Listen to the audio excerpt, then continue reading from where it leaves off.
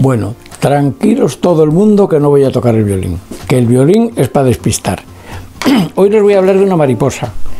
Les voy a hablar de una mariposa que tengo en estos armarios, que es la colección que hizo mi padre. Hay un ejemplar de 1920 que tiene ya un siglo. La mayoría son entre el 51 y el 80.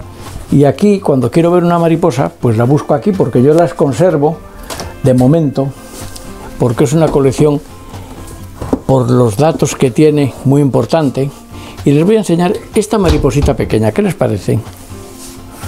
¿Qué les parece? El gran pavón, una mariposa española, que ya quedan pocas, pero que probablemente se la hayan encontrado por algún sitio y les voy a enseñar cómo. Estos son mariposas pues que se han sido capturadas porque han ido a las luces o no las han traído. Alguna puede tener 50 o 60 años perfectamente. Esta, porque es canija, la hemos criado nosotros seguro y le hemos dado poco de comer y se ha quedado pequeña. Vamos a otro sitio. Probablemente en algún momento, si el que tenga jardín, huerta, se haya encontrado en esta época del año este animalito tan curioso, con estos puntos azules como verruguitas y de este color tan pintoresco, así como dorado. O se la ha encontrado en esta otra forma, más grande verdecito con sus puntos azules. Es la misma cosa. Es la mariposa que les he enseñado yo, el gran pavón. Cuando las orugas crecen, para estar camufladas, son verdes, pero cuando van a hacer capullo, se bajan del árbol y buscan un lugar para hacer capullo y pasar ahí todo el invierno, desde ahora hasta el mes de mayo o abril en que nacerá la mariposa. Yo tengo estas porque me trajeron hace este, dos meses una hembra de mariposa que se había metido en una casa y que como estaba desorientada iba a perder la puesta por aquí o por allá.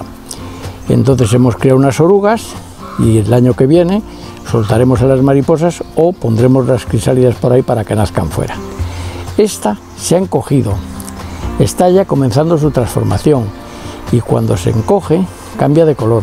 A veces yo me recuerdo de mi infancia en el jardín de casa de vez en cuando encontrábamos una cuando se bajaba del árbol buscando dónde hacer crisálidas, si no es muy difícil de ver. A veces ocurre que en un árbol frutal se le han comido casi todas las hojas, porque allí depositó todos los huevos una hembra y son muy voraces.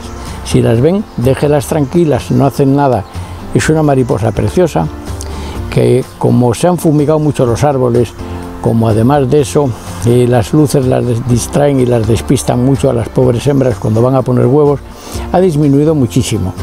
Cuando yo era niño me ponía en el jardín de casa al atardecer, en la época que vuelan, eh, el mes de mayo, algunas tardes, y veíamos pasar al anochecer alguna mariposa de estas volando.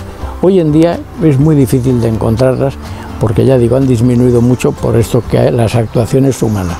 Pero nosotros aquí las soltamos todos los años, lo que criamos, y de vez en cuando aparece alguna que vive por aquí por el zoo y si hay suerte aquí se reproduce son una preciosidad de orugas, bastante impresionantes y totalmente inofensivas. Así que lo mejor es si se están comiendo su árbol frutal, que se coman unas hojas, que no pasa nada.